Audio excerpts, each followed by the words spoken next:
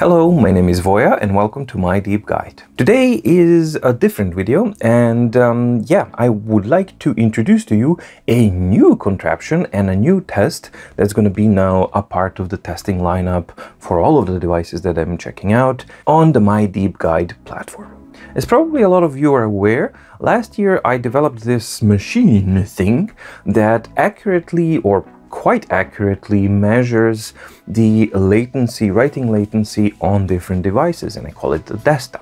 So um, yeah, I'm incredibly happy and actually proud of Desta because over the time um, it confirmed the results of the yeah factory testing and lab testing, which is really cool, and even more so when I talk to the yeah producers or manufacturers of the devices, they also reference to it and some of its results, which really makes me happy happy. The reason why I actually developed Desta was because I wanted to quantify that writing experience thing. And because the writing experience kind of boils down into several different things, one of the most obvious ones was actually the writing speed or the latency, right?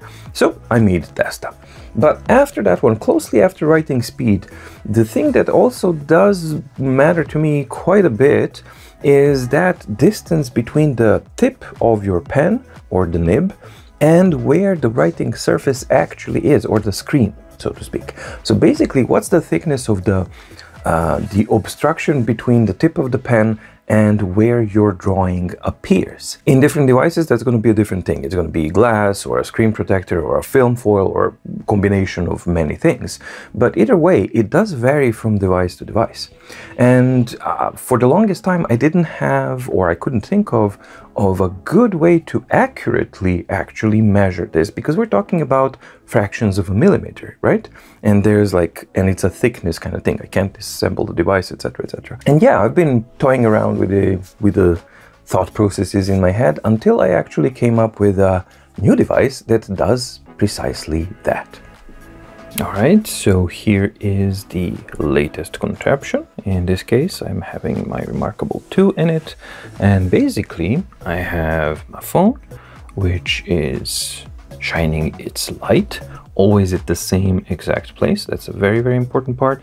And also that this little toothpick is always at the same exact place in relation to each other. Then we have this uh, one millimeter real world unit uh, template equipped on each of the devices. And as you can see, uh, there's like this slot down here where the light first hits and then we have the toothpick. The idea of that is that I can always set up the straightness of the toothpick in relation to this one as you can see the shadows. So this is off, this is off, and basically this is good. So then I make sure that this little guy is smack in one of the lines. It's now not smack in one of the lines because I'm trying to do it with two hands and it's not super precise. However, something like this, it's much more precise when the camera is mounted and I don't have to do it like hand. So yeah, let's put it around here. All right. When it's actually all the photographs are taken from the same exact angle for every single device. That's also set up that you can see. And then you can see that we're using, using this one millimeter grid. We can see that, for example, on Remarkable 2, the distance is less than one millimeter.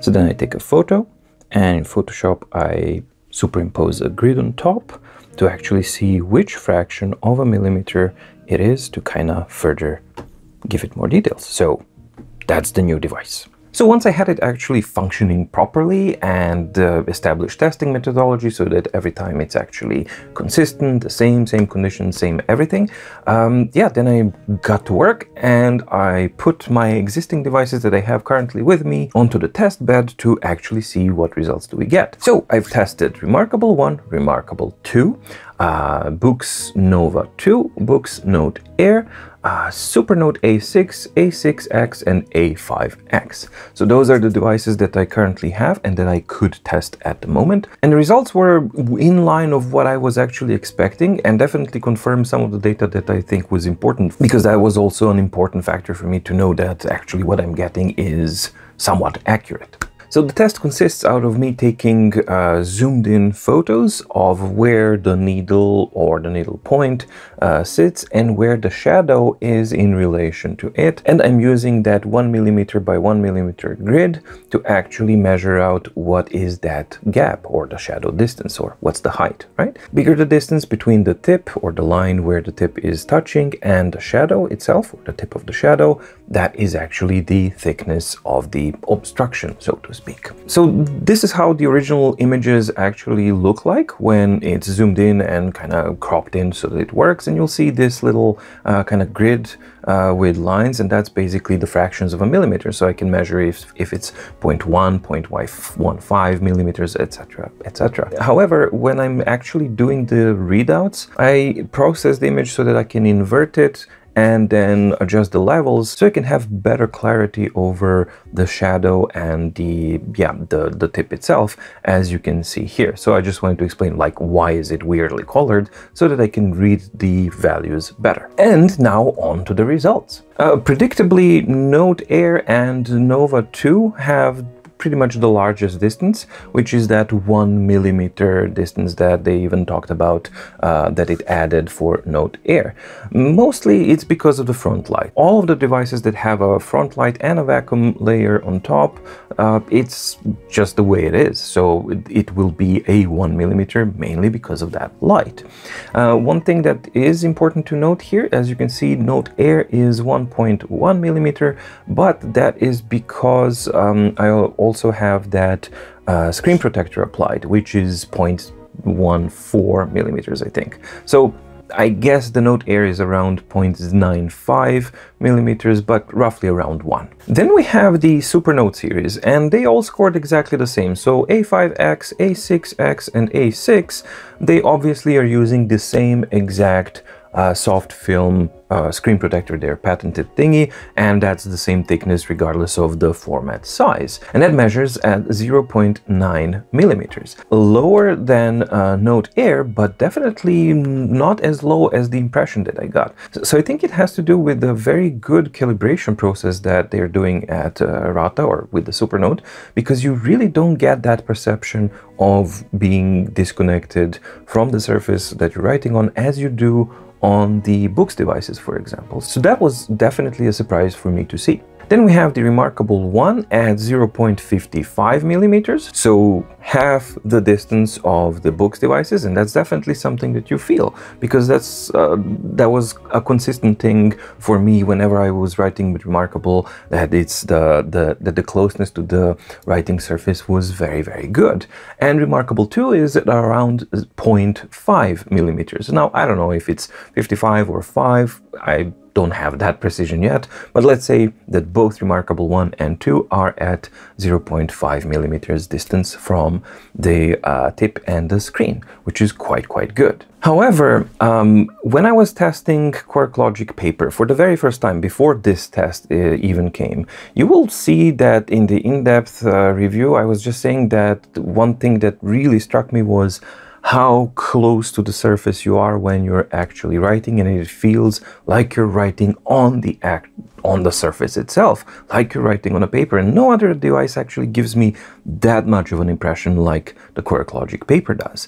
And sure enough the test actually confirmed this and I had to rerun it several times because at first I couldn't believe that this was the result and that I, I was definitely sure that I screwed up something. But nope, I ran it five times, five different angles, five different everything, always exactly the same, which is, first of all, great. The machine produces consistent results, excellent. But more so importantly, the, the distance uh, with Quirklogic Papyr is 0.015 millimeters, maybe even lower, but let's say 0.015 millimeters. That is absolutely insane. So yeah, that subjective impression that I had that it felt unbelievably close and that as if you're writing on the surface, now it's confirmed. I'm very, very happy that I finally have another test bed or a test device that I can use to quantify this subjective thing and to objectify it, right? That writing experience, elusive thingy. So my deep guide now has two original tests that are designed to quantify and objectify the writing experience on e-ink devices or any other device for that matter. Goody! Now this test bed doesn't have a name yet. I haven't even personified it yet. It doesn't, it's not like Desta that it has a face and everything. So that will come. I don't have a clear vision yet, but it will be personified and once it does, then I'll have a name for it as well. I hope you enjoyed the video. If you did, please like and subscribe and ding the notification bell to get notified when new videos on my deep guide are coming out. Thank you so much for the support. Stay safe, stay healthy, and see you in the next video. Bye!